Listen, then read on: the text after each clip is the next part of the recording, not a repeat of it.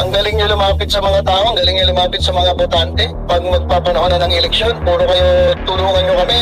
Tapos pag nandiyan na kayo sa pwesto, sino tinutulungan ninyo? Mga maiinit na usaping politika, hihimayin at masusing tatalakayin. Wala ba kaming maririnig sa inyo na ano? Na para sa bayan naman, puro sarili. Pero kami mga tao, hindi nyo tinutulungan, yung mahihirap, hindi nyo tinutulungan. Walang iya naman. Mga issue sa mundo ng showbiz, kikilatisin, chichikahin. Nang nag-iisang batang Manilenyo, eh sino pa nga ba? Kundi si Batang Maynila Toits.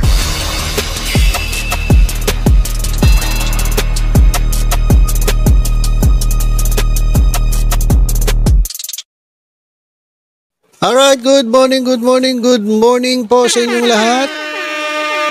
Magandang araw po, magandang araw po ng Sabadong muli sa inyong lahat. At ah, ito, gusto ko lang i-share sa inyo ito. Pagmasdan nyo maigi mga kababayan. Ayan, sweet sweet na. Yan mga kababayang litratong yan ay kuha po dyan po sa commencement exercises ng Philippine Military Academy, PMA for the bagong SINAG Class 2024 dyan po sa Fort Del Pilar, City of Baguio, Province of Benguet ngayong araw na ito. A 24-year-old cadet first class Janet Enlumba Elumba from Surigao City is the seventh woman to become PMA valedictorian in the Academy's history. Ay, congratulations, grabe. Babae na naman ang uh, valedictorian dyan po sa Philippine Military Academy. Also in attendance are Vice President Sara Duterte at Defense Secretary Gilbert Teodoro. At yan mga kababayan sa ating screen, kitang-kita nyo ang litrato ni Presidente Bongbong Marcos at ni Vice President Sara Duterte. Ano masasabi niyo mga kababayan? Ah, lalakihan natin ah. Yan. Ano masasabi niyo mga kababayan? Oh, sweat-sweat. Ay mga kababayan, oh, tingnan nyo naman, tingnan nyo, lakihan natin ah. I-zoom natin konti para makita ninyo. Ayan po ang uh, naka-zoom na litrato ni Vice President Sara Duterte at ni Presidente Bongbong Marcos dyan po sa graduation dyan po sa PMA. At kikitang-kita nyo naman na talagang uh, sweat na sweat.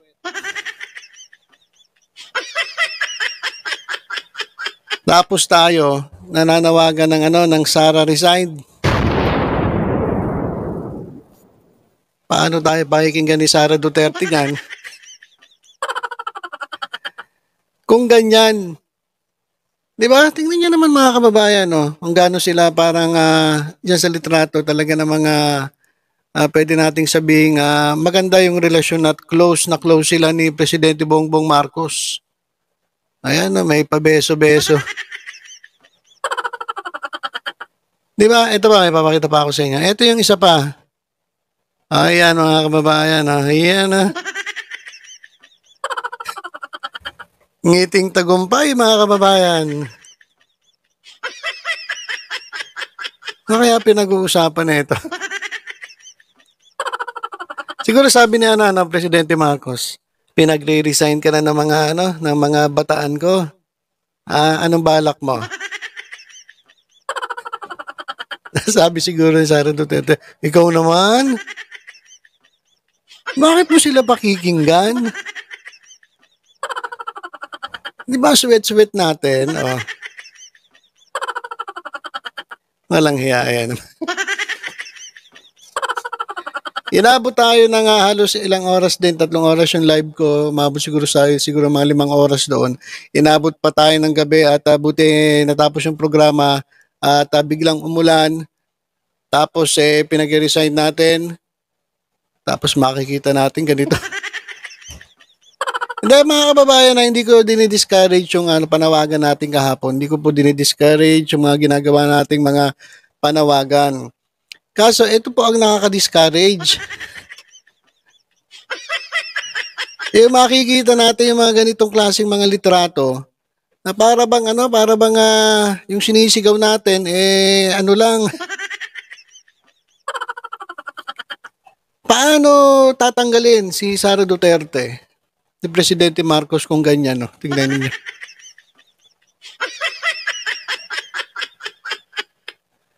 Real talk lang mga kababayan, real talk lang po tayo ah. Hu- Huwag po kayo magagalit sa akin. Ako po, suportado po kayo sa panawagan na mag-resign si Sara Duterte bilang DepEd Secretary. Pero kung ganito naman makikita natin, yan oh, grabe ang ngiti. Sara Duterte naman, nakakahiya naman sa inyo, sir. Ganun, parang ganun yung dati niyan eh. Kaya naisip ko dyan, sabi, ah, gusto ko natanggalin ng mga tao ko. Ano masasabi mo? Kayo naman, sir.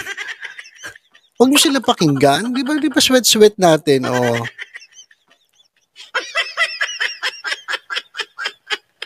Ito po yung ano, yung nakaka-discourage. Tayo naman po, yung mga gusto natin, di ba? Nagpapalakasan tayo, tayo mga sumusuporta sa mga nakikita nating mali. Nagkakaisa tayo, tulong-tulong tayo, sumisigaw tayo. Pero kung uh, makikita natin yung mga ganito, yung pinananawagan natin mismo parang binabaliwala lang tayo.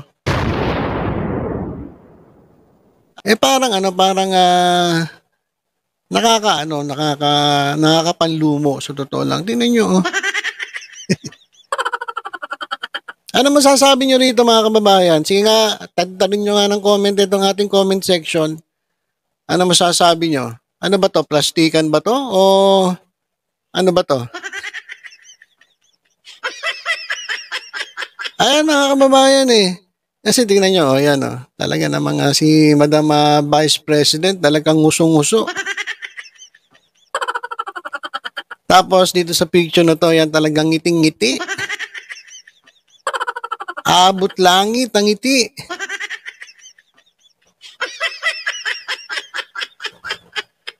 Di ba, mga kababayan? Ito, ito, basahin ko lang ha. Basahin ko to nga ilang komento ng ating kababayan. Sabi niya, sa tuwing nakikita ko magkasama kayo, naiinis ako. Nasisira ang araw ko at di ko alam bakit ba nagkakaganto. Sadyang nasasaktan kahit di rin naman tayo. Ang puso ko'y nagdurugo. Ano ba to kanta ba to? Parang... Ang puso ko'y nagdurugo at parang sumisigip ang dibdib ko sa tuwing nakikita ko na magkatabi kayo. Oo, oo. Nangiya kanta ata itong binabasa ko. Kahit di naman tayong dalawa ay laging nalang pinagsosilosan siya. Bakit ba siya at bakit di na lang ako? Walang iya naman kala. Kala ka naman seryoso. Kala ka naman maganda yung comment. Ano ba pa? Ano lang pala to? Mema lang eh. Buset. Oh. Ah. at meron namang nagawa din kay PBBM, mag-ingat ka kay Judas, Sara, dahil gusto kanyang palitan na patalikod kasama ang, ang, mga minions nila. Ingat ka dyan, PBBM, na atin ng rally laban sa'yo. Ayan, mga, mga sinasabi ng ating mga kababayan, no? Tapos, selos si First Lady.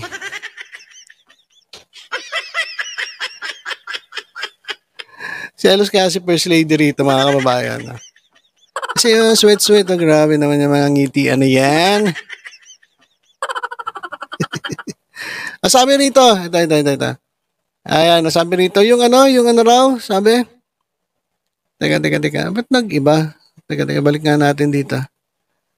Ayan. Magkaiba pala comment sa ibang ah, litrato. So, sabi dito, ah, yung nag-kiss sa'yo, pero gusto kang ipadistab kasi at at atat na atat na siyang umupo. At sabi naman ng iba, in love talaga si BBM kay Inday Sara. Grabe. Ano ba itong mga ito? Kung makatingin, bahala ka dyan, Lam. Ah, ah, ni Sara Neta Marcos, manigas ka sa selos. Sabi naman neta, 100 exam ako, be. Sabi naman isa, we, totoo? Ah, baka naman naman to. Napaka-plastic ng BP mo. Ayan, binabasa ko lang yan ah. Ah, paktay ka kay First Lady, bugbog ka na naman.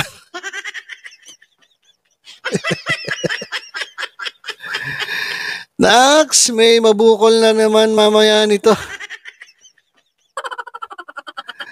Ano ba naman ito? Sa totoo lang mga kababayan na, ano kaya masasabi ng mga magkasama natin sa rally kahapon kapag nakita nyo yung ganito, no? Ano masasabi nyo? Ako nung una ko nakita ko, sabi ko, ano ba yan? sigaw kami ng sigaw doon, Sara resigned. Tapos ito, magkasama yung dalawa, sweat-sweat pa. Oh.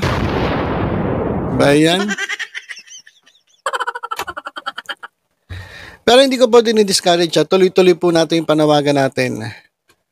Ah, kasi ako, wala akong pakialam kung ano sabihin ng DDS, kung konti man o marami. Ang importante ron na isigaw natin yung gusto nating sabihin. At sana makarating kay Presidente Bongbong Marcos. Pero kung sakali man makarating kay Bongbong Marcos, baka parang wala lang eh. Di ba? Parang wala lang mga kababayan eh. Oh.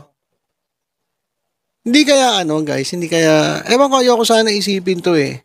Hindi kaya ano, hindi kaya, hindi na tayo, kumbaga parang, parang, hindi na ganun kaimportante yung sinasabi ng mga tao, may mga panawagan ng tao dito sa ano, sa administrasyon. Sa tingin ninyo guys, sa tingin niyo lang, ako yung kasi ayoko mag-isip ng negative eh, pero syempre pag ganito, mapapaisip tayo. Kayo guys, anong masasabi ninyo? Ah, kayo po, mag-comment nga po kayo kung ano masasabi nyo rito. Ano ba to? Plastikan ba to? Totoo ba to? Kasi ay mga kababayan, yung mga ngitian. No? Sabi nga dito, may cuticle na mabad shot at may bangag na ma-black eye. Pakyut kay BP. Si Marcos ba ang pakyut o si ano si Sara Duterte? Tingnan niyo nga yung mga mukha. Sabi nga dito, yee! Kilig to the bones. Meron naman iba nagsasabi, bagay daw, walang yan. Sisirain nyo naman yung moralidad naman ng mga tao. Grabe. Anong bagay dyan? Pare-pares may mga asawa yan. Saka merong basketball yan. si ano eh, si Madam BP mahilig yan sa basketball eh. Shoot! Shoot! Oh. Di ba? May gasolinahan pa nga ako naririnig. Ay, nako. Friends man lagi sila. Sabi. Sabi ng iba. Ewan ko. Ah, grabe talaga no mga kababayan. No? Hindi kaya ano, hindi kaya binabaliwala lang tayo. ah, nako may magsiselos na naman na ito. Oh. Sabi naman ng iba, halik ni Judas daw.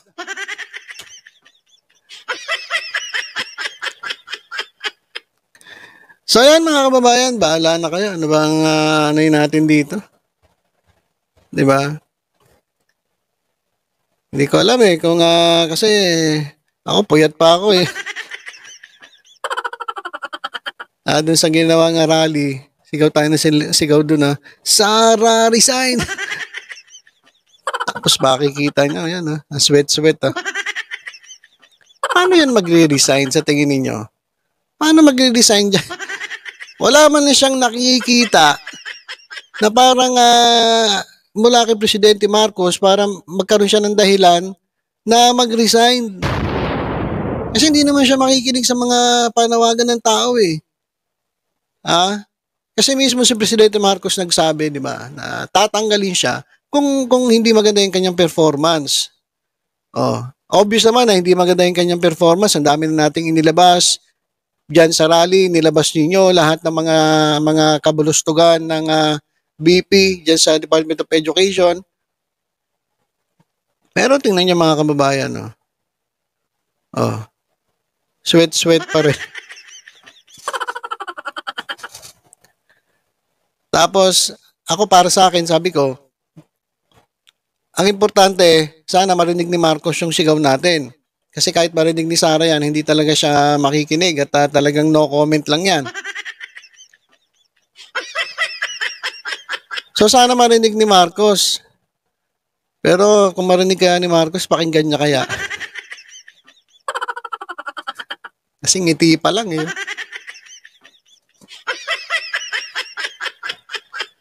Alam niyo tama yung ano eh, sinabi ni Mima. Yung uh, kinall out niya si Presidente Marcos. Dapat si Presidente Marcos sobrang bait po kasi. Dapat talaga ito si ano eh, si Marcos ang gisingin eh. kasi tingnan niyo, konting ngiti lang eh, talagang kinikilig pangaraw eh.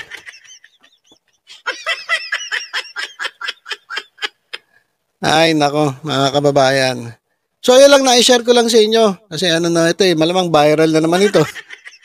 Baka interviewin na naman si First Lady. Sabihin eh, bad chat uli sa akin. Kasi nagseselos ako. Grabe naman yan. Attend lang ng ano eh, ng ah, graduation ng PMA. May, may, mayroon ako makikitang ganyang itian. Pwede namang hindi, pwede namang walang ganyan eh. Ba't may ganyan-ganyan pa? Di ba? Baka sabihin ni First Lady gano'n. Ay, naku po. So, yan lang mga kababayan. Ayan, na ipakita ko lang sa inyo. Sana eh, kayo, bahala na kayo mag, ano, mag, ah, mag-comment kung ano yung masasabi nyo rito. At, ah, sa tingin nyo ba, pinakikigan pa tayo ng mga to o hindi na? Ah, sa tingin ninyo? Kaya comment po guys, comment po kayo dito sa sa video ito at ipi-premiere ko po ito. Katapos ng premiere, ah, mag-comment po kayo kung ano yung ah, masasabi ninyo tungkol dito kasi ako sa totoo lang parang ano eh, parang ah, nakaka-discourage na makita yung ganito na tayo nananawagan ng ganito. Sara resigned, pero si Marcos parang hindi sumisigaw ng gano'n. parang walang balak si Marcos tanggalin si Sara Duterte. Di ba? Sangiti pa lang eh. Tingnan nga. So ayun lang mga kababayan, Ah, tutok-tutok lang po dito sa Batang Maynila to. Sa iba pang updates, ingat po tayong lahat. God bless po.